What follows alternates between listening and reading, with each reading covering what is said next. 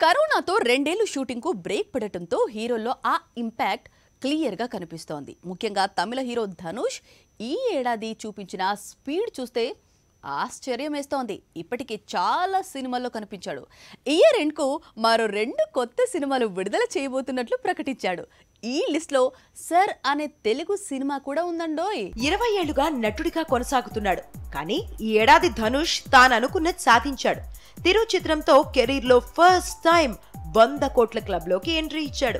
దాంతో రెట్టించిన ఉత్సాహంతో కొత్త సినిమాల విడుదలపై దృష్టి పెట్టాడు ధనుష్.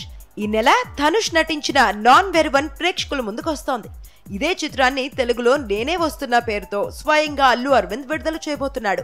ఆగస్టు పద్దెనిమిదిన తిరు రిలీజ్ అయింది.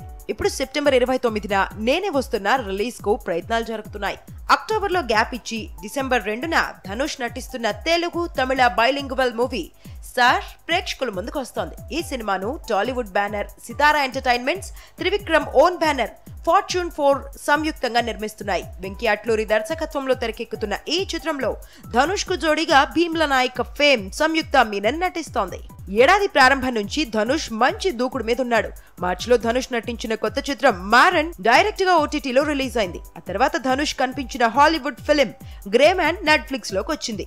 ఈ మధ్య విడుదలైన తిరు బ్లాక్ పోస్టర్ అయింది. ఇప్పుడు నేనే వస్తున్న సార్ సినిమాలు బాక్స్ ఆఫీస్ ముందుకు వచ్చేందుకు సిద్ధమవుతున్నాయి.